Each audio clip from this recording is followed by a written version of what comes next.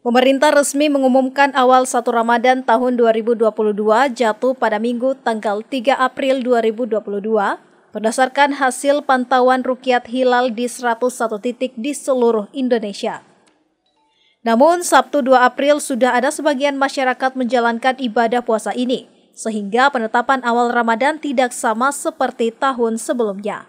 Adanya perbedaan ini ditanggapi Wali Kota Kendari, Menurutnya perbedaan awal Ramadan untuk melaksanakan ibadah puasa tidak perlu dipolemikan karena bisa menimbulkan persepsi negatif soal perbedaan tersebut. Wali kota berharap adanya perbedaan puasa satu Ramadan bisa tetap saling menghormati antar sesama muslim demi kehusuan untuk menjalankan ibadah puasa tahun ini. Utamanya, kesyukuran diberi kesehatan dan umur panjang dipertemukan kembali dengan Ramadan tahun ini. Kewenangan Kementerian Agama ya kita ya. tunggu aja ya. seperti apa keputusan. Saya kira masyarakat Indonesia sudah tahu dan tidak perlu lagi dipolemikan.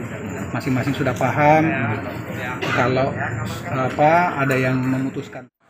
Wali kota juga berharap kepada masyarakat Muslim Kota Kendari konsisten menjalankan ibadah di bulan Ramadan agar kualitas iman terus meningkat sampai tibanya momen Idul Fitri nanti.